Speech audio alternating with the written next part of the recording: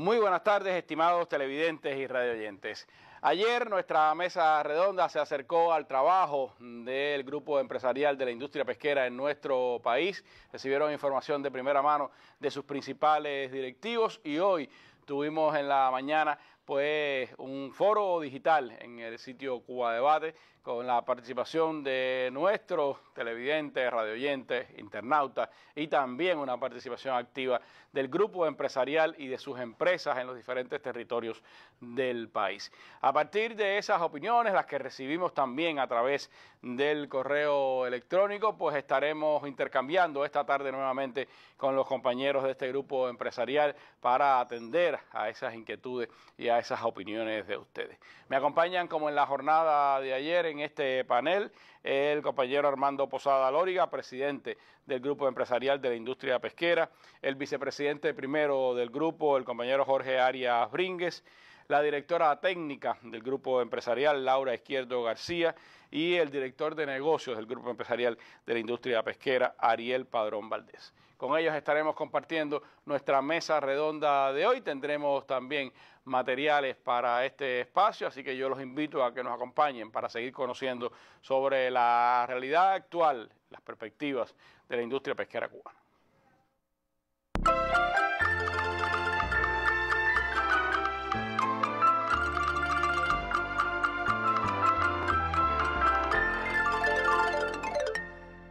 La empresa pesquera de las tunas, conocida comercialmente como Pescatún, mantiene la estabilidad de los procesos industriales para contribuir a la alimentación del pueblo.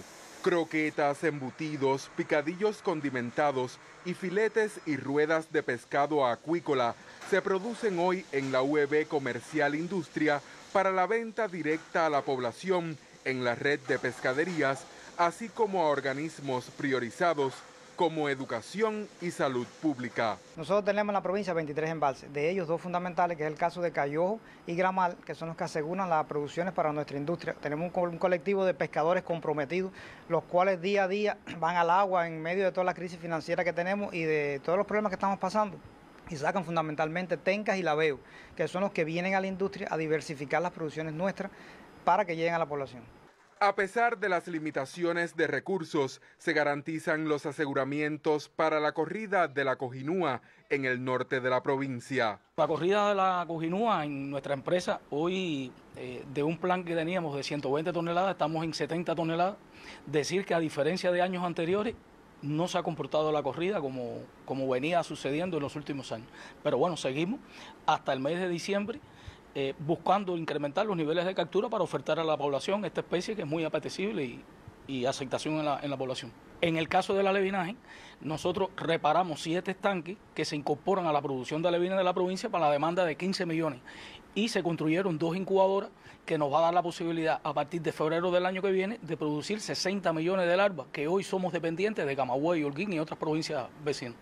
Pescatún trabaja con el fin de incrementar sus producciones. El grupo empresarial de la industria pesquera nos asignó nueve motores marinos y un motor para la acuicultura. Esto va a aumentar la disponibilidad técnica hoy de nuestras embarcaciones en la plataforma, muy desprimidas por los motores que ya tienen muchos años de explotación. Por tanto, esto va a dar, sin lugar a duda, un incremento en las producciones de, de la plataforma. Hoy la empresa no descansa para garantizar las materias primas en aras de impulsar las producciones alternativas que se destinan a la alimentación del pueblo. Desde las Tunas, Gianni López Brito, especial para la mesa redonda.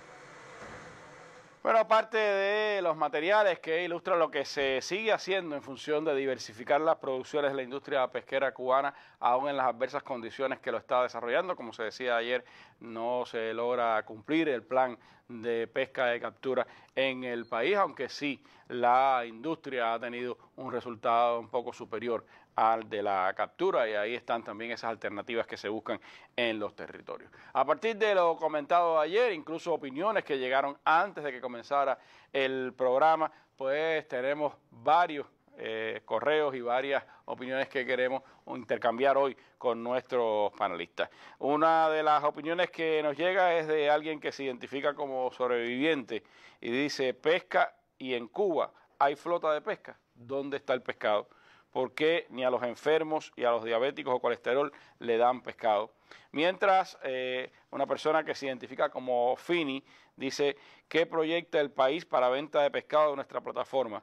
Es impensable que un cubano no pueda disponer de un lugar para la adquisición de ese producto, la isla mayor del Caribe rodeada de ese extenso mar. Si seguimos capturando para exportar, que creo que por ahí debe venir la mesa redonda, no es justo que nos sentemos a ver lo mismo. Y eh, Manolo, pues dice, ¿por qué siendo Cuba la isla más grande del Caribe, comer pescado es un lujo? Pregunto esto porque en los reportajes que he visto sobre las islas del Caribe nunca faltan los mercados donde se vende el pescado y están bien abastecidos. Mientras que René Parapal también da su opinión y dice, no me convencen los mismos pretextos de siempre cuando debiera ser de las más sostenibles y prósperas industrias cubanas, además la base de nuestra soberanía alimentaria junto al sector agropecuario. Son algunas de las opiniones que nos llegaron en estas 24 horas sobre el tema de la industria pesquera y me gustaría a partir de estos comentarios pues comenzar hablando con Ariel sobre estos temas. ¿Por qué no tenemos suficiente pescado en Cuba? ¿Por qué siendo una isla del Caribe, dice una de las personas, hay, ve más mercado de venta de pescado en otras islas del Caribe que, que en Cuba? ¿Y cuándo pues eh, podremos nosotros aumentar esa producción. Se preguntan, ¿y por qué se captura, sobre todo para exportar? Dice alguna de las opiniones. ¿Qué nos puede decir sobre eso? Bueno, Randy, muchísimas gracias y reiterarle las buenas tardes a los televidentes y radioyentes.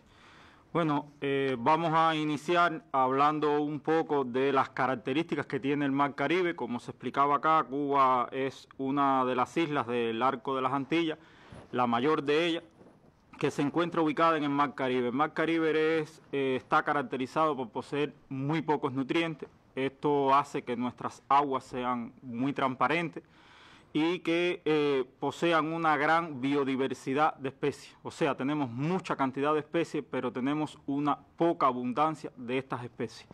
Tenemos grandes eh, extensiones de playa con arenas muy blancas. En otras palabras, la carencia de nutrientes hace que la biodiversidad eh, sea eh, poca. Ahora vamos a tratar eh, de ubicarnos en el momento en el que la pesca tuvo su máximo esplendor. Estamos hablando de la década de los 80 en su segunda mitad. En este momento Cuba extrajo eh, de las aguas de, la plataforma marina 77 mil toneladas de productos pesqueros total. De ellos, de eh, escama de peces, eran 26 mil toneladas. Ayer decíamos en la mesa... En nuestra plataforma. Eso es en nuestra plataforma marina. Porque la mayor parte de lo que se consumía se traía, se pescaba en, otros, lugares. En aguas que eran fuera de la plataforma cubana, en los caladeros internacionales. Dentro de nuestra plataforma, estas fueron las cifras máximas que se lograron en la historia de la pesca de Cuba.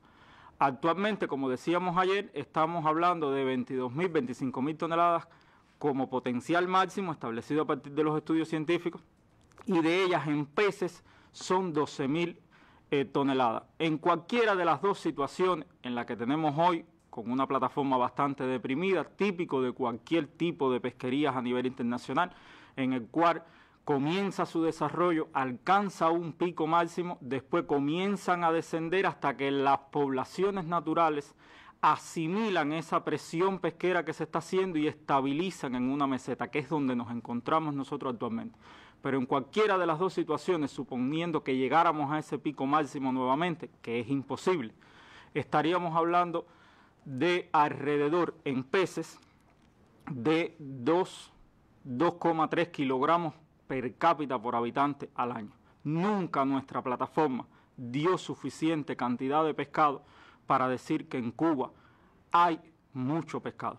Es algo biológico, es algo, un problema físico, geográfico, oceanográfico, que impide no solo en Cuba, en el Caribe completo que exista gran abundancia de recursos pesqueros. Es decir, que es más una leyenda que una, que una realidad el decir que estamos llenos de, peces en la, en la, plataforma cubana. Es más una leyenda y, y quizás también la confusión está, Randy, en que en aquella época, adicional a este pescado, venía una gran cantidad de pescado de otras latitudes del mundo, que en su momento, como pico máximo, superó las eh, 200.000 toneladas de pescado, lo que se capturó tanto dentro de nuestras aguas como fuera de nuestras aguas. Así que casi dos tercios de lo que se consumía era traído desde... Era traído desde... De, que después las regulaciones internacionales cambiaron, nuestra flota desapareció, todo eso también ha tenido su, sus consecuencias. Ahora, pensando en ese potencial de 22 mil, 25 mil y unas 12 mil de, de, peces, quiere decir que el potencial que tiene nuestra plataforma es para un kilogramo aproximadamente por, por habitante del, del país no es suficiente para, para lo que internacionalmente se establece como consumo de, de pescado promedio. ¿no? no es suficiente. Por eso es que ayer hacíamos mucho énfasis en el desarrollo de la acuicultura, en cualquiera de sus versiones, ya puede ser en ambiente marino, en ambiente de agua salobre, en un estuario, o en ambiente de agua dulce, que es la que explicábamos ayer, que es la acuicultura extensiva, en nuestras presas y micropresas. Hablabas de la, de la, del Caribe y de, y de la situación de, de, nuestra, de nuestro mar Caribe ¿no? en general. Eh, hay alguien que ha hablado, bueno, hemos visto en otras islas del Caribe, me, mercados, etcétera. Eh, ¿Cuál es la situación real del Caribe en el, en el ámbito de la pesca? Ahora, Randy, eh, si hacemos nosotros un análisis a partir de los datos que están puestos eh, online y disponibles para que todo el mundo pueda trabajar con ellos en el Banco Internacional, del Banco Internacional de Comercio, cuando uno analiza la producción total, ya está, esta está dicha en las capturas marinas y en la acuicultura de todos los países del arco de las Antillas, el mayor productor es Cuba. Cuando uno lo abre ya eh, por partida y analiza desde el punto de vista de las capturas marinas, Cuba ocupa el tercer lugar en las capturas. Nos están superando San Vicente y las Granadinas y Curazao, pero porque estos son poseedores de flotas como las que nosotros tuvimos en su momento, que salen a pescar a los caladeros internacionales, ya sean propias o porque las rentan, pero la realidad es que pescan en otras latitudes que no son en Mar Caribe y por eso nos superan en esa eh, producción. Y cuando uno analiza la acuicultura, solo cinco países en el arco de las Antillas hacen acuicultura y Cuba representa el 85% del volumen total que se produce en acuicultura en, en el Caribe. O sea, resumiendo, en producción total somos los que más eh, captura tenemos. En la plataforma ocupamos el tercer lugar y en eh, la acuicultura somos el primer lugar en el Caribe. La diferencia, por supuesto, está entre producción y población, que ahí es donde se puede dar esa, esa visión, quizás alguno, de que en el Caribe hay más pescado en los mercados que los que puede haber en, Cuba y tiene que ver también con esas características, esas dimensiones, como se decía, de una isla y la otra, la población de una isla y la, y la otra. Pero en esas condiciones, entonces, ¿por qué, según la apreciación de una televidente, eh, estamos capturando para exportar? Bueno, cuando nosotros hacemos ese análisis, Randy, recordando lo que se explicaba ayer, las exportaciones nuestras no son significativas del volumen total que se captura. Y debemos agregar a esto que en este momento la política de exportación no incluye eh, los peces, no se exportan peces, eso no significa que en un futuro, a partir de que nosotros desarrollemos la acuicultura y eh, comencemos a tener peces de la acuicultura, no hagamos exportación de peces porque recordemos que tenemos que exportar para recuperar las divisas que nos permiten reprovisionarnos para obtener sobre todo el alimento que es el costo más grande en la acuicultura. Y hoy lo que se está exportando sobre todo son invertebrados marinos, dígase langosta, camarón marino, el, la angula, el pepino de mar, la esponja de mar y el cobo estos son los recursos, son invertebrados marinos los que hoy se están eh, exportando. ¿Y el monto dentro del total de la, de la captura cuánto representa? Ahí se da una cifra, ¿no? Estamos hablando de cerca de 6.000 toneladas, de ese potencial que son 22.000 toneladas. Así que esa es la, la, la situación que en la que hoy está. Yo creo que es bueno esclarecer estas opiniones de nuestra población. Por un lado está, por supuesto, la insatisfacción con que no se puede consumir el pescado que se necesita, pero por el otro está una cierta visión quizás falseada de la realidad a partir del no conocimiento totalmente de los elementos. Uno y otro están, por supuesto, eh, no sería la misma la opinión si estuviéramos el pescado en la mesa. ¿no? Y esa, esa, por supuesto, tiene que ver con, esa, con esas opiniones. Pero hablando de pescado en la mesa, hay eh, varias opiniones que tienen que ver con el tema de la dieta médica. Ahí tenía varias, pero bueno, escogí una de Jorge, que dice que hace un buen tiempo que no se da la dieta de pescado, que ya uno se acostumbró a no tenerla y ahora la dan y el que no la tiene renovada no tiene derecho a ella y pregunta si habrá pescado para dieta hasta noviembre. Imagino que sea alguien de la, de la capital. También eh, una de las que leíamos ahorita, el, sobreviviente decía que ya no se daba dieta ni para los diabéticos ni para eh, los enfermos. ¿Cuál es la situación, Jorge, de la entrega de pescado en la dieta de, los ciudadanos? Eh, ¿Hasta dónde se ha podido llegar? ¿Qué situación tenemos en este minuto? Eh, reiterar las buenas tardes, Randy, a ti, a toda la teleaudiencia que nos acompaña. Si nos remontamos cinco años atrás, la fuente para suplir la demanda de las dietas médicas en el país provenía de la importación. Es decir, a partir de la asignación de del presupuesto central del Estado, se importaban las dietas médicas para cubrir esa demanda. A partir del recrudecimiento de las medidas económicas que han tratado de asfixiar eh, nuestra la situación económica actual del país, que han recrudecido la situación y el financiamiento, pues el grupo empresarial, el sistema empresarial de, nuestro grupo ha asumido esa responsabilidad. Quiere decir que hace cinco años eh, nuestras empresas asumen la demanda de la dieta médica para población en todas las provincias, excepto en la capital, que a partir de los volúmenes que, demanda se decidió entregar eh, pollo.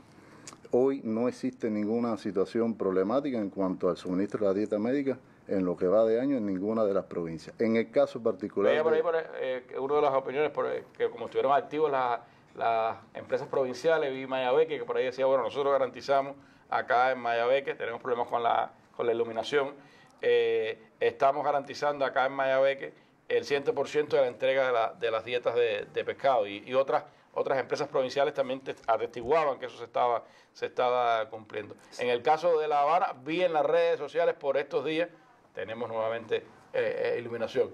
Eh, veíamos en estos días en las redes sociales algunas personas hablando de que ya le había llegado la dieta. ¿Es así? Sí, correcto. en el presente año ha habido una estabilidad. En el primer semestre, fundamentalmente con el suministro de pollo que suplía esta, esta dieta a partir de la problemática de importación de este producto que, se ha caracterizado en este periodo. Es decir, el famoso pollo por pescado. El famoso pollo por pescado. Sin embargo, hubo una decisión a partir de la importación de un pescado y se decidió eh, dar los meses de agosto, septiembre y octubre en la capital, reitero, que en estos momentos está en proceso de distribución y en la última semana de este mes debe concluirse.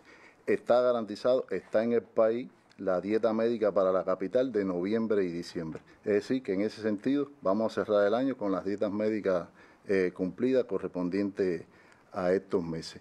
Y como proyección para el año 2025 estamos haciendo varias propuestas, se están haciendo varias propuestas en función de que no ocurra una inestabilidad similar a la que nos ocurrió en el presente año. Es decir, que las dietas médicas en las provincias las garantizan las empresas provinciales con sus propias capturas, fuentes propias del grupo empresarial. Y en el caso de la capital es totalmente importado. Se va a garantizar con Ya no pollo, sino este fin de año pescado. Pescado. Bueno, esa es la situación que tenemos con las dietas médicas, unos asuntos que también ustedes nos han planteado. Así que eh, información de primera para toda nuestra población. Hacemos un alto y regresamos de nuevo con ustedes para seguir pues escuchando comentarios y también pues escuchando las opiniones de nuestros panelistas. El problema real es el problema de las desigualdades. Tenemos que empezar como pueblo. No, olvides al barrendero, al maestro ni al. Todos los fenómenos que para bien o para mal se gestionen, se generen, mal o bien en la empresa estatal socialista, terminan desencadenando un fenómeno en toda la economía. Cubanos y el timbirichi levanta tu economía. Porque esta cotidianidad, esta realidad cubana, no basta con interpretarla de diversos modos, sino que juntos tenemos que transformarla.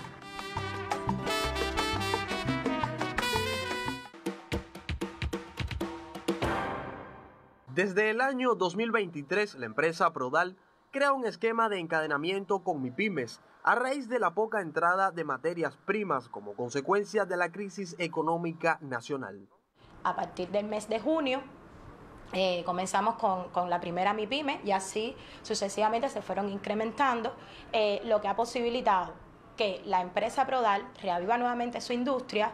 Pusimos en plan a poner a producir a las cuatro plantas productivas en eh, volver a incorporar a los trabajadores que se encontraban interruptos a la empresa para poder hacer las producciones que a partir del financiamiento de, de las MIPIMES que compran sus propias materias primas, aprovechando la capacidad instalada, hacemos un servicio de maquila y entonces, bueno, se le entregan sus producciones. Como parte del importe por este servicio, las MIPIMES proveen a Prodal de las materias primas necesarias para la producción de alimentos. Es un interés mutuo, tanto del sector estatal como del sector privado a partir de las necesidades que, que tenía la empresa Proar en aquel momento y la necesidad que tenía nuestra MIPYME acabada, acabada de formar de emerger en, nuevas, en, proyecciones, en nuevos mercados. La experiencia ha sido positiva, eh, para nosotros se ha convertido en un padre, ha habido acompañamiento en todas las esferas de la actividad, tanto en la parte logística, comercial y de venta.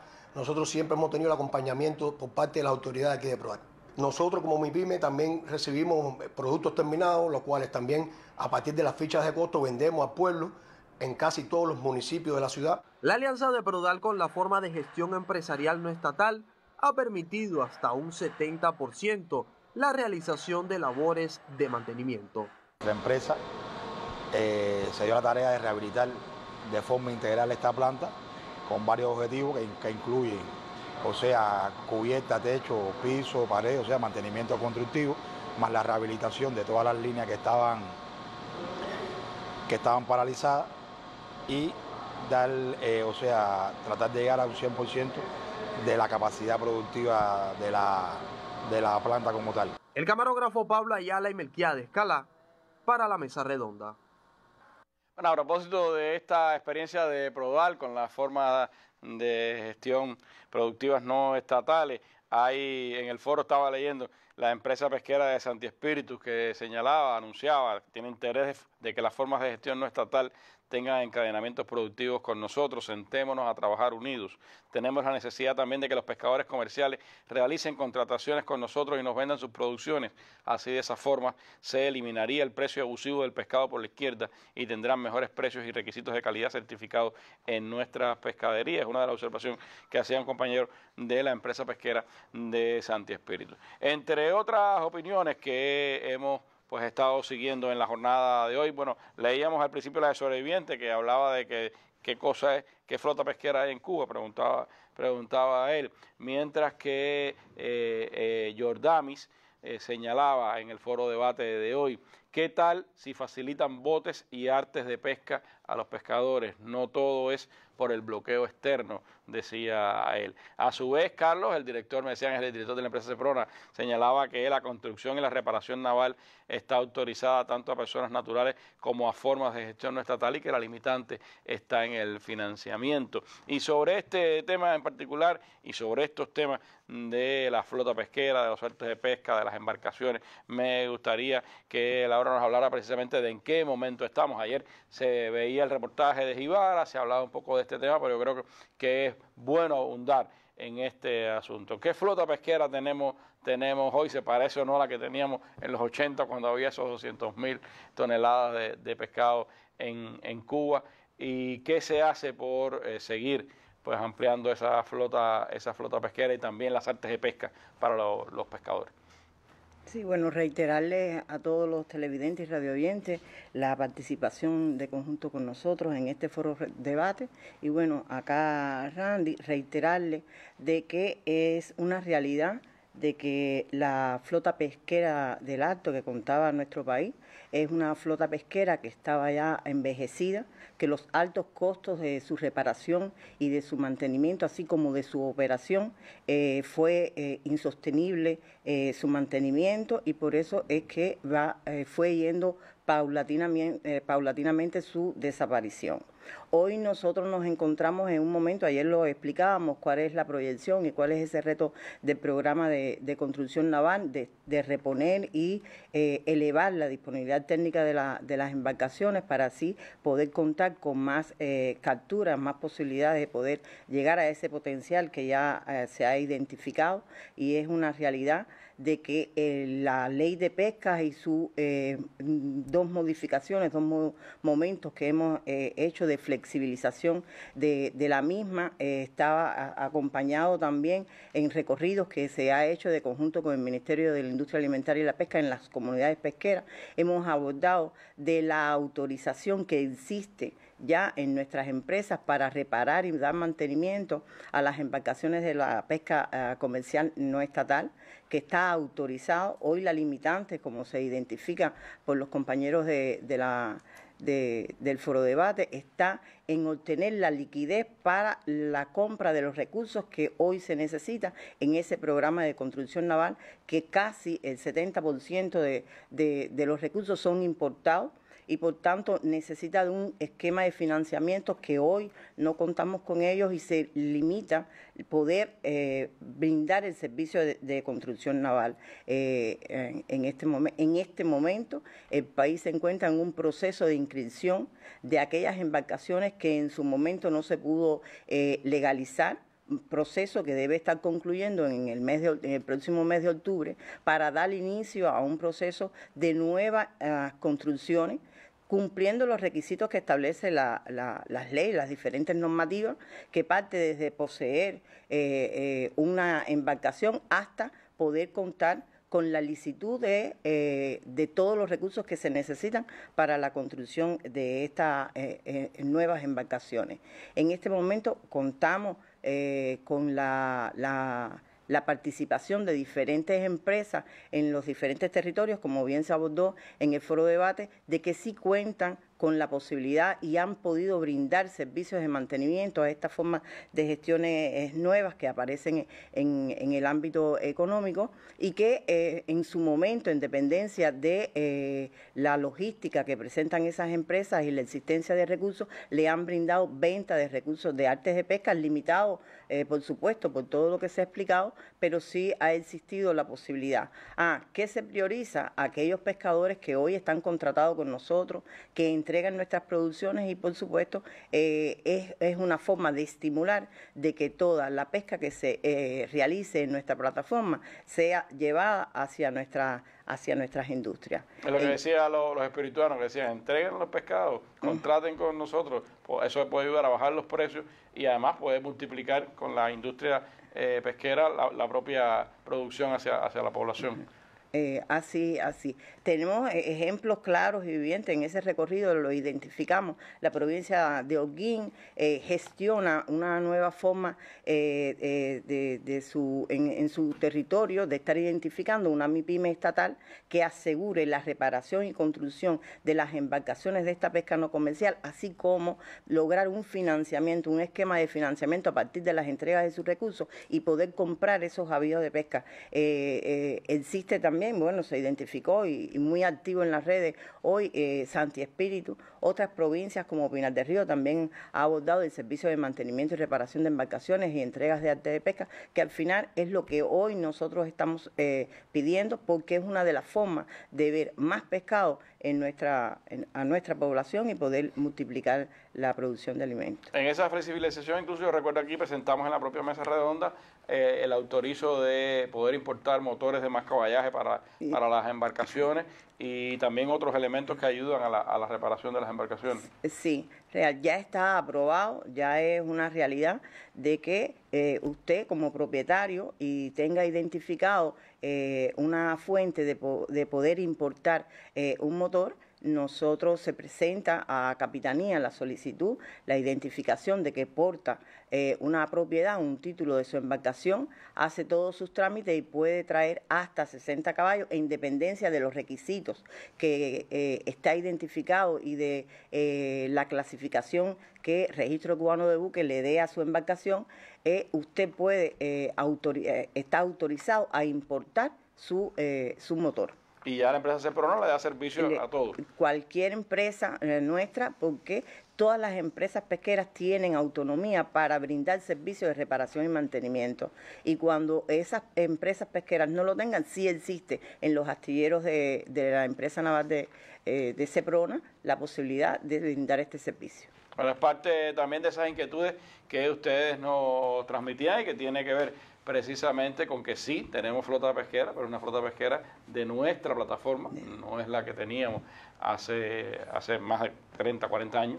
Y, y sí, por supuesto, hay que seguir reparando. De todas formas, me comentabas, Laura, que, que incluso la propia calidad que han ido adquiriendo ya las embarcaciones que estamos haciendo en el país abre la posibilidad incluso de, de comenzar a poder exportar esa, esas embarcaciones. Sí, se cuenta, bueno, todos conocemos los compromisos que nosotros tenemos por pertenecer a, Caricón y ya en nuestra empresa eh, Ceprona se tiene identificadas las potencialidades que tienen para poder brindar el servicio de construcción eh, de embarcaciones para la exportación a San Vicente. Hoy están identificadas, existe un compromiso y de seguro que por el saber hacer y el prestigio que ha demostrado esa empresa, poder eh, cumplir esa petición y ese compromiso que tiene el país con esta eh, nación amiga y, del Caribe. Aportando también al, Caribe, y acaba de hablar ahorita de la pesca en el, en el Caribe.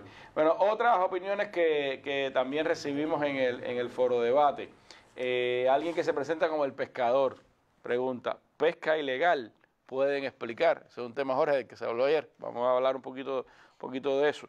Y también alguien que se presenta como PGS dice que eh, en otros lares la, dice, no, no, tendrá un considerable peso en la disminución de las capturas en plataforma, la disminución de los pescadores que tradicionalmente vivieron del mar y hoy no existen, porque a sus herederos naturales les han ido poniendo cada día más difícil seguir la tradición familiar con restricciones para mantener sus embarcaciones, repararlas, explotarlas. Eh, en otros lares, dice, la actividad pesquera descansa parte nada despreciable del suministro en sus pescadores tradicionales. Aquí se han ido extinguiendo. ¿Por qué? Sabemos las respuestas, pero seguimos restringiendo la actividad. Somos un archipiélago y necesitamos del mar y de los hombres de mar. De esos temas, Jorge, me gustaría que, pudiéramos escuchar sus reflexiones. ¿Qué pasa por un lado con la pesca ilegal? ¿Qué se define como pesca ilegal y cómo se enfrenta esa pesca, esa pesca ilegal? y por el otro lado, cómo se está atendiendo a esos pescadores tradicionales, a, esas, a esas personas que viven, han vivido tradicionalmente de la pesca y que a lo mejor hoy no están en, la, en las formas productivas que están vinculadas directamente con las empresas pesqueras en los territorios. Sí, Randy. Bueno, ayer comentábamos que, que la pesca ilegal constituye una de las problemáticas más complejas, pero que hay que enfrentar eh, decididamente porque no es despreciable el daño económico y medioambiental que, ocasiona. Desde la puesta en vigor de la Ley 129, Ley de Pesca, se ha ejercido un intercambio constante en las comunidades pesqueras con, con los pescadores. Un intercambio en el que han participado las autoridades de los territorios, los cuadros de nuestras empresas que están enclavadas en esa comunidad, los cuadros del ministerio, los cuadros del grupo empresarial. Es decir, se ha, habido, eh, se ha originado un intercambio muy importante que, ha permitido la participación de, y, escuchar los criterios de, todos los, pescadores. ¿Y ese tema de la pesca ilegal se, ha discutido? Se ha discutido. Eh, como resultado de ese análisis y de ese intercambio, se han, en, medio del tratamiento que se le ha dado, se han modificado eh, las normas complementarias, buscando una flexibilización a partir de, de estos criterios, de estos planteamientos. Si hablamos una de las modificaciones que más ha trascendido en este sentido, se trata de la eliminación de la obligatoriedad de los pescadores privados de tener un contrato con una empresa pesquera o alguna otra entidad estatal para eh, solicitar y obtener la licencia de pesca. Quiere decir que esta es una de las flexibilizaciones que ha tenido mayor impacto y que responde también a, esos reclamos que en algunos momentos se, se realizaron. Pero y por un lado se flexibiliza el tema de las embarcaciones, la reparación, incluso eh, la, legalización de algunas que no estaban legalizadas y por el otro lado se ha flexibilizado entonces esa propia inscripción del pescador para ejercer la se modifica el propio espectro de la comercialización de, sus capturas. Eh, pero ¿qué pasa, Randy? Eh, no ha habido una correspondencia entre esas flexibilizaciones y con relación a las manifestaciones de violaciones del régimen de pesca. Si analizamos contra igual periodo del año anterior, se han producido, se han detectado mayor eh, cantidad de, de, violaciones. A partir de las informaciones que nos ha suministrado la Oficina Nacional de, de Inspección Estatal, independientemente de que ha tenido un enfrentamiento todas esas violaciones y todas estas y toda esta actividad de pesca ilegal, eh, ciertamente no ha sido totalmente efectiva y requiere de un incremento de esa de esas acciones. Algunas personas en los comentarios, por ejemplo, decían, eh, una de, de esas manifestaciones que usted ve en los grupos de redes sociales decía la venta de carne de caguama, que es una especie que está en observación y que, y que, y que sin embargo se vende a veces en las redes sociales. Es una pesca indiscriminada que está totalmente prohibida. Si analizamos por dentro el tema de las violaciones, la ocupación de redes asciende hoy a más de 22 kilómetros de redes, lo cual realmente es una demuestra la, ilegalidad y el carácter agresivo contra el medio y contra la especie en lo fundamental. Ha habido un proceso, Randy, ayer hablamos de dos cuestiones, una, una un carácter de acción preventiva que hay que realizar y, y, de enfrentamiento. Pero si vamos a hablar de prevención, acaba de culminar uno de los ejercicios más importantes de intercambio en todas las la comunidades, en las comunidades pesqueras del país.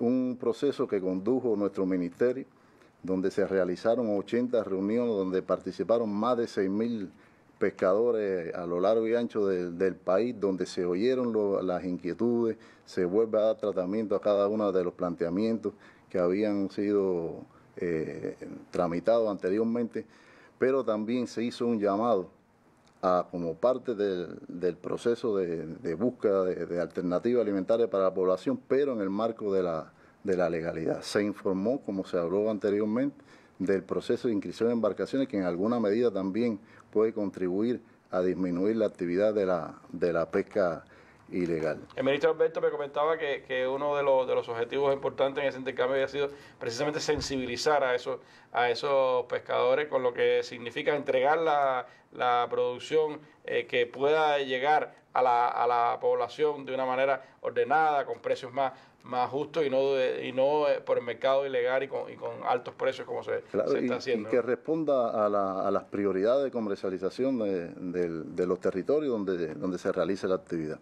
Ayer te comentaba que nosotros también somos un actor eh, bajo el cual debemos cumplir todas las normas complementarias la, del régimen de pesca. Y en inspecciones que también hemos tenido incidencias, se han detectado violaciones en nuestros pescadores, lamentablemente eh, también se han aplicado las medidas correspondientes eh, en este sentido. Es importante en esto, Randy, el papel que jugamos los cuadros en las empresas, fundamentalmente con el acompañamiento de, de los dirigentes sindicales y en lograr concientizar eh, la necesidad de enfrentar y no incidir negativamente. Nosotros debemos ser el ejemplo en el orden del cumplimiento de toda la, del marco legislativo que está aprobado hoy, que lo fundamental busca buscar eh, lograr más alimentos para la población, pero eh, lograr la sostenibilidad de los recursos pesqueros. Ahí está también el porqué de, de la pesca, la pesca ilegal, porque los límites están establecidos, lo decía Ariel, 22 mil, 25 mil toneladas, todo lo que sea fuera de eso ya va contra, contra el propio medio ambiente y por el otro lado esas especies que están vedadas, que están en peligro, incluso y que son pescadas furtivamente por, por los pescadores y vendidas incluso de manera de manera ilegal. Es parte de, lo, de, los desafíos que tiene la autoridad pesquera, que lo que se trata en este caso no es de prohibir, es que eso tiene regulaciones que deben ser cumplidas, ¿así? Claro, que existe un ordenamiento, es lo que se busca con todo la, el cumplimiento de todo lo que está legislado. Bueno, pues creo que son elementos importantes, flexibilización en el tema de embarcaciones, flexibilización en el tema de la inscripción de los propios pescadores y búsqueda de sensibilidad entre estos pescadores tradicionales, como le llamaban algunos, que pueden aportar aún más a la alimentación de la población y hacerlo de una manera mucho más ordenada. Pero hay otros temas de los que queremos hablar en esta mesa redonda les propongo que hagamos un alto, veamos otro reportaje que nos han preparado los compañeros del canal Habana y sigamos entonces hablando de estos temas.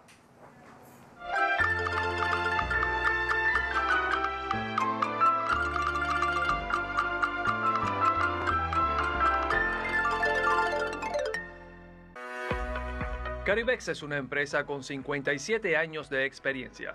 Tras su inauguración el 1 de septiembre de 1967, la hasta entonces exportadora del Caribe se convirtió en la única entidad que atendía la exportación de productos de la pesca. Hoy, en medio de un contexto económico complejo, mantiene una misión en extremo importante para la economía cubana. Somos los encargados de garantizar ingresos al país.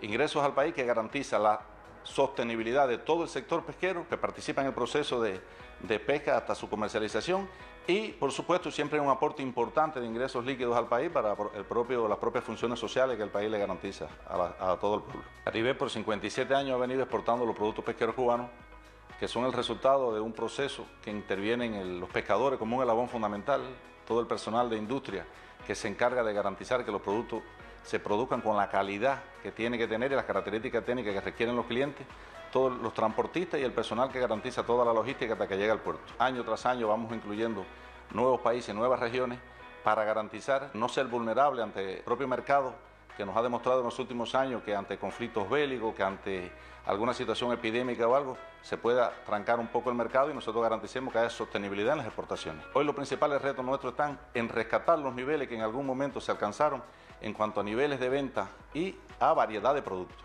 Pesca Caribe pertenece al grupo empresarial de la industria pesquera, al igual que Caribex. Se encarga, fundamentalmente, de atender al mercado cubano. Desde 2020 incorporó nuevos métodos de comercialización. a raíz de la pandemia ya el turismo se vio obligado a suspender los servicios, el flujo de turistas en Cuba fue disminuyendo y la empresa tuvo que irse buscando algunas maneras de comercialización que pudieran sostener el funcionamiento de la empresa. Ya a partir de las nuevas aperturas en ese año 2020 nos dimos a la tarea de incluirnos en, el, sector de las ventas online, donde eso nos permitió incorporar no solo mejorar el funcionamiento de la empresa, sino aumentar el salario medio de los trabajadores, aumentar los puestos de trabajo de los trabajadores y ya con el propio funcionamiento de la apertura de las ventas online empezamos a incorporar el vínculo con otras empresas. Ambas entidades trabajan en estrecha colaboración con el Centro de Investigaciones de la Pesca, que es el eslabón que mantiene el punto de equilibrio entre la captura, la sostenibilidad de las especies y por tanto los mercados. En el año 2002, Caribex fue galardonada con el Premio Nacional al Mejor Exportador como los mayores exportadores del país, además de la excelencia en la gestión y resultados económicos y sociales. José Tuñón y Mario Herrera, especial para este espacio. Bueno, parte de los retos de los que se ha hablado en la mesa redonda sobre cómo aumentar las exportaciones, no en detrimento de la captura para la población, sino siendo más eficientes en ese, en ese trabajo y Caribex tiene toda esa experiencia. A propósito de producción, de captura, de retos, hay varias opiniones. Quiero leer dos de las que hemos recibido. Yau, quien se identifica como cienfueguero en el foro debate, dice, quisiera saber cuál es el reto pues el pescado y sus derivados casi no se ven a no ser por los particulares, dice él en el caso de Cienfuegos. Mientras Oscar Ramos Isla, uno de los foristas más activos que tenemos en todos los temas de la mesa redonda, pues identifica varios temas como el déficit de liquidez, el bloqueo, el envejecimiento de la flota, etcétera, y habla de muchas otras cosas que se pudieran ir haciendo en el ámbito de la pesca y termina diciendo, en resumen, aumentar la producción pesquera en Cuba requiere de un enfoque integral que combine la acuicultura sostenible, la gestión de los recursos pesqueros y otras medidas complementarias. Sobre retos, sobre proyecciones y sobre las fortalezas con que se cuentan para seguir avanzando, me gustaría que en estos minutos finales el ingeniero Armando Posada Lóriga pues, nos actualice y nos dé las percepciones del grupo empresarial sobre estos temas. Bueno, reiterar las buenas noches. Eh, como usted ha planteado, eh, las proyecciones de trabajo del grupo empresarial en esta etapa eh, van encaminadas a resolver los problemas que hemos identificado y, por supuesto, al incremento de producciones alimentarias. Me voy a referir a ocho objetivos fundamentales, objetivos de proyecciones que de una forma u otra trataré de resumirlo que el tiempo que nos queda eh, han sido tratados durante el día de ayer en el foro de debate y bueno, en estos minutos que estamos en la mesa redonda. El primer objetivo eh, y proyección es, como dijimos ayer, el incremento de las capturas y la producción industrial. Y lo fundamental es el incremento de las capturas. Ayer le explicamos qué hay que hacer en la plataforma, qué hay que hacer en la acuicultura, qué hay que hacer en la, en la camaricultura. Lo primero es hay que lograr el esfuerzo pesquero. Y lo que estamos haciendo hoy del programa de reparación y, y completamiento de embarcaciones, el programa de las artes de pesca completamiento, la capacidad industrial que tenemos montada, la producción de hielo, que aunque ayer se habló, nosotros tenemos suficiente producción de hielo para, para satisfacer eh, eh, las capturas que tenemos y el crecimiento que tenemos previsto. Y además, el día, en la primera semana de octubre llegan nueve plantas de hielo más. Te, quiere decir que tenemos producción de hielo para nosotros y también en las posibilidades podemos satisfacer también de hielo a los productores privados para que ejecuten la, las operaciones. Es ahí donde está. Y hay un elemento muy importante que ayer lo resaltamos, hoy lo volvemos a resaltar, es el tema energético. Nosotros seguimos insistiendo y vamos a seguir insistiendo que aunque, independientemente que la aprobación de nuestro esquema financiero se demore, se nos permita comprar el combustible en divisa con nuestros ingresos, aunque tengamos que dejar de comprar otros recursos, pero ese hoy es el eslabón fundamental que tenemos que resolver para lograr el incremento del esfuerzo pesquero, por tanto el incremento de las capturas. El otro eh, elemento que ayer discutimos y donde dijimos que teníamos las mayores reservas es lograr la explotación del 100% de los acuatorios. Por lo tanto, el programa de la producción de alevina hasta llegar al 100%. Ayer no lo especificamos, pero las 125 mil hectáreas de espejos de agua que se habló, no es solo los espejos de agua que explota el grupo, ahí están incluidos los otros organismos que hacen agricultura. Lo importante es que todos los que hacemos actividad de pesca, lograr explotar el 100%, eso nos va a dar una posibilidad de incremento de la, de la producción. Por tanto, es importante el programa de incrementar la producción de alevina y, por supuesto, el programa de recuperación de las hectáreas para tener la capacidad de producción. Porque el incremento está en la acuicultura. Está en la acuicultura. Pero también resaltar, eso también llega un momento que es fino, porque también hay que reconocer que hoy, hoy podemos tener 125 mil hectáreas de espejo de agua, pero puede haber un, un, año de mucha sequía, entonces tener menos, de, menos cantidad de, de agua, entonces tenemos que sembrar y podemos tener menos rendimiento. Lo primero, que es lo más económico, lo más factible, es poder el 100% de los acuatorios explotarlo en una primera etapa. Y en una segunda etapa es imprescindible, cuando las condiciones lo permiten, tenemos que retomar incrementar el cultivo intensivo. En el mundo, el crecimiento de la producción eh, pesquera está en los cultivos intensivos y nosotros tenemos que ir cuando las condiciones lo permitan ir al cultivo intensivo. Hoy estamos haciendo un cultivo semi-intensivo a partir de piensos criollos que no da la cantidad suficiente para ese desarrollo, pero nosotros tenemos que ir en una segunda etapa cuando lo permita las condiciones al cultivo intensivo. En el esquema que estamos proponiendo ya hay un nivel de financiamiento para ir retomándolo, pero tenemos que ir al cultivo intensivo. Y otra forma del cultivo intensivo, por supuesto, es la inversión extranjera que tenemos que dirigir a los cultivos. El otro tema para poder incrementar la producción industrial, que ayer también lo, planteamos, es continuar con los encadenamientos. Ese ejemplo de Prodal tiene que generalizarse.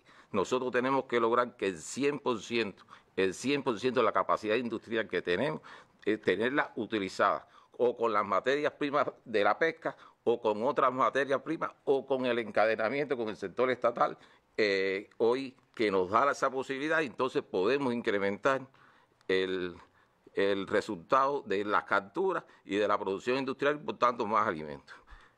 La segunda proyección, que la dejé para la segunda, porque comencé con la captura y la producción industrial, la que va dirigida a la población, que reitero, es el mayor volumen que destinamos. Pero la segunda y muy importante, y si en esta no la desarrollamos, no va a ser capaz de nosotros poder tener la sostenibilidad y cumplir el resto. Es incrementar y diversificar nuestras exportaciones y los ingresos externos. Usted lo dijo al principio, hemos identificado tres fuentes. Uno, eh, y como lo dijo el director de Caribe, y, eh, lograr incrementar la exportación de los productos eh, tradicionales. Ese es un elemento. El otro elemento es la venta online con pago del exterior. Pesca Caribe hoy trabaja con dos plataformas. Nosotros recibimos ingresos desde el exterior por almacenamiento, por transportación, por distribución y además incorporamos productos a esas ventas online. Eso es ingreso para el país. Y además una parte de esa se revierte en materias primas para poder hacer más producción. Y esa es otra fuente. En este año debemos ingresar más de 4 millones de dólares al país por ese concepto. Por lo tanto, esa es otra de las tareas a trabajar. Y la otra, que la compañera Laura explicó, es las exportaciones de embarcaciones. Ahí también tenemos que trabajar para lograr incrementar las exportaciones. Una tercera proyección de trabajo, concretar los proyectos de inversión y colaboración que ayer hablamos. Ya tenemos dos aprobados que comiencen a dar su fruto y dirigir la inversión para los cultivos, como dije anteriormente, para poder lograr e incrementar y que sea una fuente de financiamiento para el desarrollo de la actividad. Un cuarta eh, proyección, buscar nuevos incentivos para nuestros pescadores. Ayer lo hablamos, el entorno ha cambiado, tenemos que seguir perfeccionando los sistemas de pago, las condiciones de trabajo, las condiciones de vida de nuestros trabajadores para lograr la permanencia de los mismos. Un quinto, que no me voy a, no me voy a, no lo voy a ampliar, fue lo que explicó el vicepresidente primero, el incremento del control y enfrentamiento del delito. Eso nos hace daño, pero el primer combate lo tenemos que echar los cuadros de la pesca y los trabajadores de la pesca. En eso estamos conscientes y es un elemento fundamental. Hay un elemento que ayer no hablamos, que también somos parte del sistema empresarial cubano, es seguir avanzando en el proceso de bancarización. Ayer no lo explicamos, nosotros vamos avanzando, más del 90% de nuestros trabajadores el salario lo recibe por tarjeta magnética, prestamos servicios en más de 26 cajas extras, los pagos tanto, y los tributos como las obligaciones se pagan por banca remota y en las 255 pescaderías cubanas. Nosotros tenemos el código QR, que hoy o por el transfer móvil o por el zona se pueden realizar los pagos. Hoy tenemos que decir que es poco lo que se capta por esa vía. Está la posibilidad, pero, está la posibilidad. Pero hay poco pago todavía. Pero todavía hay poco pago. El otro elemento, como ayer lo explicó la directora técnica, tenemos que generalizar todos los resultados científicos y técnicos vincularnos más a los científicos nuestros y a las universidades para buscarle solución a nuestras problemáticas, desde formulaciones de alimentos, desde buscarle solución a los problemas tecnológicos. Eso tenemos que seguir generalizando como una de las medidas fundamentales para poder lograr la proyección. Y una última proyección que define el cumplimiento es lograr el esquema de financiamiento del grupo. Ayer se explicó, hoy lo voy a reiterar, nuestro grupo es capaz de autofinanciarse, de cubrir todas eh, las necesidades de recursos, poder invertir y además aportar lo que le corresponde a la cuenta de financiamiento central. Por tanto, esto decide. Y dentro de ese esquema está previsto y es, decisivo incluir el pago de, de combustible en divisas. Estas son las proyecciones fundamentales que tenemos identificadas y que creo que van en el camino correcto de lo que tenemos que hacer para incrementar la producción de alimentos. ¿Con qué fuerza cuentan para hacerlo, Armando? A ver, nosotros consideramos eh, varias de las fortalezas que tenemos. Lo primero, la infraestructura que hemos desarrollado a lo largo del país. Explicamos ayer en la estructura del grupo que estamos en todo. Tenemos una capacidad suficiente de producción de alevines. Tenemos 26 estaciones de alevines en la acuicultura tenemos dos centros de SOBI para el camarón de cultivo, donde se, donde se realiza la semilla, se logra la semilla para la siembra. Tenemos capacidad industrial suficiente. Tenemos más de 55 entre industria y mini industria a lo largo del país. Tenemos eh, capacidad, como expliqué anteriormente, de la producción de hielo. Tenemos el programa que lo tenemos garantizado y que está funcionando, que expliqué anteriormente, de la recuperación de la flota, de las artes de pesca y de la reparación y construcción de hectáreas. Esas son de las principales eh, de fortalezas que tenemos. Otra fortaleza muy importante que va dirigido es que no, todas las plantas de nosotros, eh, las plantas que se dedican a la exportación, están certificadas para la Unión Europea. y nos hemos mantenido en el mercado por más de 57 años, como expresó el director de Caribe. A cada rato vienen los inspectores de esos Eh, lugares. hemos a la recibido, Coloma y a otros hemos lugares a- recibido cuatro inspecciones de la Unión Europea con resultados satisfactorios. Hoy nuestros productos están presentes en alrededor de 15 países, en Europa, en Asia, en América, y, otro de las fortalezas es el prestigio, reconocimiento y calidad de nuestras producciones para la exportación, que, la, que por, por más de 57 años hemos estado en los principales mercados y hay reconocimiento de nuestros productos y de las marcas de nuestros productos. Esa es una fortaleza. Y por supuesto, la mayor fortaleza para nosotros, la calidad humana de nuestros trabajadores, la permanencia, la constancia, el saber hacer, que al final es la que nos va a dar el resultado entre todos, de, que por eso consideramos que sí podemos lograr incrementar las producciones y resolver los problemas que hoy nos atentan a nuestro grupo y poder aportar al desarrollo de la economía del país. Ahí también los resultados de la alta fiscalización que la Asamblea Nacional hizo, dejó recomendaciones para el sector, que son una guía de, trabajo también para el grupo empresarial de la industria pesquera y para todo el Ministerio de la Industria Alimentaria en el, en el país. Bueno, yo quiero agradecerle mucho a ustedes estos dos días de intercambio que hemos, que hemos tenido esta información. E imagino que también sea muy valioso para ustedes, Armando, las opiniones que han recibido de nuestro pueblo, ¿no? Sí, quisiera, si nos quedara algún minuto, poder, por último, agradecer la participación del pueblo, no solo en el foro debate de hoy, sino desde que se anunció la mesa, el intercambio que hemos mantenido durante el día de ayer, durante el día de hoy y que mantendremos para darnos los criterios, poder eh, aclarar, nos ha servido para retroalimentarnos y todo, eh, y por supuesto vamos a mantener ese sistema de informar al pueblo de lo que estamos haciendo en función, pues, con el objetivo principal de resolver las problemáticas que tenemos y poder incrementar la producción de alimentos. Por lo tanto, agradecemos y, y vamos a estar en constante comunicación.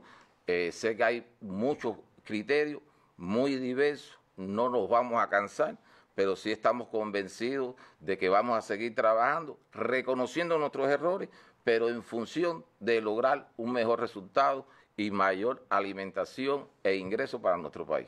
Bueno, gracias Armando, gracias también a cada uno de los compañeros que nos han acompañado en estos dos días de trabajo. Yo creo que información útil para nuestro pueblo, por un lado saber cómo está la producción pesquera en el país, cuáles son los retos y los desafíos que tiene y cuál es la realidad, el mito, hasta dónde es verdad que tenemos pescado no suficiente en nuestra plataforma y que el camino sigue siendo hacia los próximos años incrementar esa acuicultura sostenible en el país, para lo cual hay que hacer esfuerzos importantes y ahí está pues como estrategia fundamental para el desarrollo de la industria pesquera en nuestro país. Así que agradecido de todos estos elementos que nos han dado y bueno, en nuestro reconocimiento a todos los trabajadores del sector pesquero que aún en condiciones tan adversas como las que hoy se está trabajando, siguen haciendo el esfuerzo porque mejore ese ámbito de la alimentación de nuestro pueblo que todavía tiene un déficit grande por cubrir. Así que gracias a ustedes por estas informaciones y nosotros nos vemos mañana en una nueva mesa redonda. Me veo con las imágenes del día, los grandes incendios forestales que están ocurriendo en el sur del continente, en varias partes, pero hoy especialmente en Perú, donde hay ya 15 fallecidos y centenares de heridos.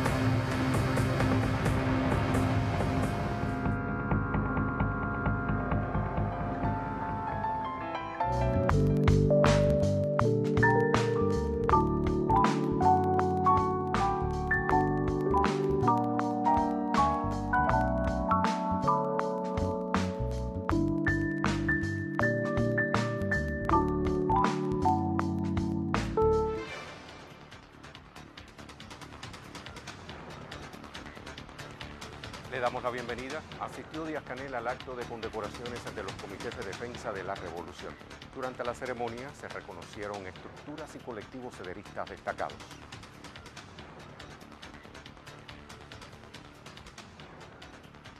Intercambió Esteban Lazo Hernández con líderes que asistieron al primer seminario internacional sobre diplomacia parlamentaria. Los visitantes reafirmaron su apoyo a Cuba y el rechazo al bloqueo estadounidense. La aviación de Israel bombardea el sur del Líbano. El ejército sionista extiende su guerra más allá de la franja de Gaza. Un cordial saludo, Lady, buenas noches, ¿cómo estás? Muy bien, Rey, buenas noches para ti. El saludo, por supuesto, para todos los que se conectan con el canal cubano de noticias a través de la pantalla tradicional y vía plataformas digitales. Usted lo sabe, ya son las 8. Comienza el estelar.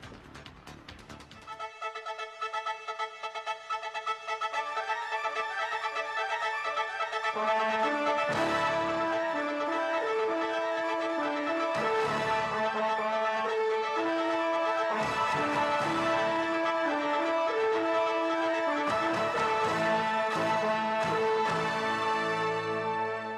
la presencia del primer secretario del Comité Central del Partido y presidente de la República, Miguel Díaz Canel Bermúdez, se desarrolló hoy en La Habana el acto de condecoraciones de los comités de defensa de la revolución. Acompañaron al mandatario cubano los miembros del Buró Político Esteban Lazo Hernández, presidente de la Asamblea Nacional del Poder Popular, Roberto Morales Ojeda, secretario de Organización, Teresa Amarele Bobué, secretaria general de la Federación de Mujeres Cubanas, y Ulises Guilarte de Nacimiento, secretario general de la Central de Trabajadores de Cuba, así como los miembros del Consejo de Estado Gerardo Hernández Nordelo, coordinador nacional de los CDR, y Mavis Esteves Echavarría, primera secretaria de la Unión de Jóvenes Comunistas, entre otros representantes de las Fuerzas Armadas, el Ministerio del Interior y las organizaciones de masas. En el acto realizado en el Salón de Protocolo El Laguito se reconoció la destacada trayectoria de miembros, eh, zonas y cuadros de la organización cederista con la bandera 28 de septiembre, la distinción de igual nombre y la medalla por la defensa y la unidad del barrio. Y a propósito, le informamos que este acto se retransmitirá por Canal Caribe al finalizar la emisión estelar del noticiero de la televisión.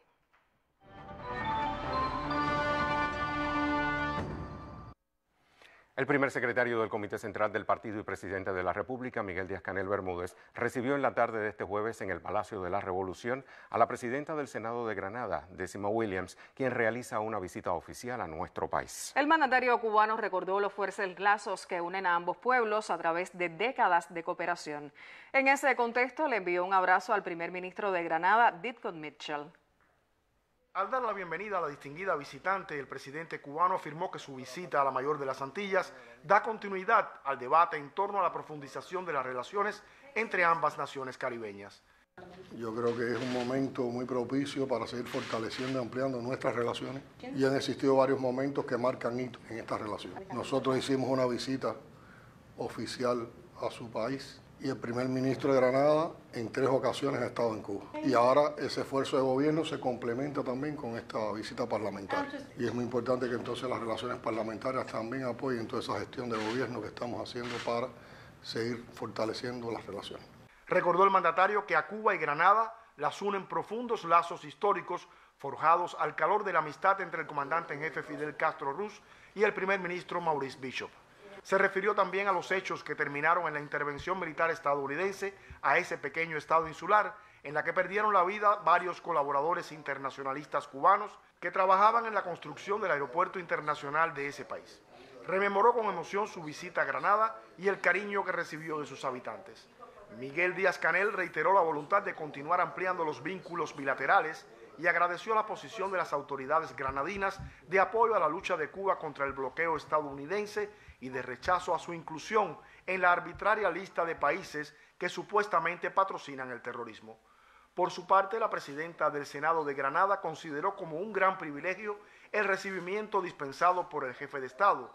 Agradeció la invitación del titular de la Asamblea Nacional del Poder Popular, Esteban Lazo Hernández, y se refirió a sus actividades en La Habana, entre las que destacó la participación en el Seminario Internacional sobre Diplomacia Parlamentaria y otros encuentros con autoridades legislativas y gubernamentales. Sabemos que entre Granada y Cuba, señor presidente, existen lazos históricos que han contribuido al desarrollo de nuestros países. Con las becas que han ustedes ofrecido a los jóvenes que han venido a estudiar a Cuba y muchos jóvenes profesionales ahora están sirviendo en nuestro país precisamente por la preparación que han recibido aquí. Compartimos también plataformas políticas, plataformas de diferentes índoles sobre el Caribe y sobre la paz que debe reinar en la zona. Y compartimos ideas sobre todo también sobre la participación de las mujeres, de la juventud. En el encuentro participaron, junto a la delegación granadina, los diputados Homero Acosta Álvarez, secretario de la Asamblea Nacional del Poder Popular y del Consejo de Estado, y Rolando González Patricio, titular de su Comisión de Relaciones Internacionales, así como Eugenio Martínez Enríquez, director de América Latina y el Caribe de la Cancillería. Héctor Martínez, Canal Cubano de Noticias. El miembro del Buró Político Esteban Lazo Hernández, presidente de la Asamblea Nacional del Poder Popular, intercambió con líderes que asistieron al primer seminario internacional